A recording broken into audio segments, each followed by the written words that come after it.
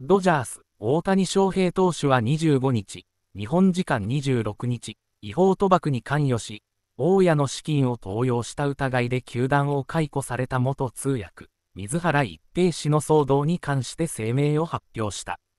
シリアスな歩み上に現れたのは同僚のエンリケ・ヘルナンデス内野手。同席した理由について、ラテン系の視聴者に通訳するためにここに来た、とジョークを飛ばしていた。大谷はこの日、古巣エンゼルスとのオープン戦前に取材対応。質疑応答なしで声明という形になったが、水原氏が20日付で解雇になって以降初めて騒動について口を開いた。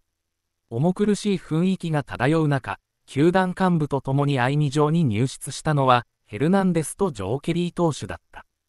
地元放送局、スポーツネットロサンゼルス、の解説エリック・キャロス氏が大谷とヘルナンデスの会話を明かした。翔平は座っていて、ここで何をやっているの？という表情をしました。するとキケは、ラテン系の視聴者に通訳するためにここに来た、と言い放った。チームメイトの絆ですね、と粋なジョークがあったそうだ。